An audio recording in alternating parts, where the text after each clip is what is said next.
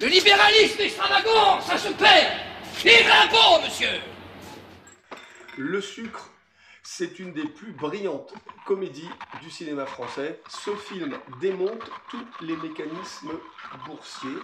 C'est une critique acerbe du libéralisme débridé, du capitalisme sauvage, du casino bancaire. Pour jouer cette comédie, enlevé, il fallait tout de même des acteurs de haut vol. Et Jacques Rouffio les a. Ce film a une saveur particulière quand on connaît la relation d'amitié très forte presque filiale qui unissait Gérard Depardieu et Jean Carmet, et cela donne lieu à des morceaux de bravoure. Gérard Depardieu appelant constamment dans le film euh, Jean Carmet mon Didi, on imagine qu'il devait l'appeler peut-être comme ça dans, dans, la vie, tellement son jeu est naturel. Le sucre, Jacques Rouffio, 1978.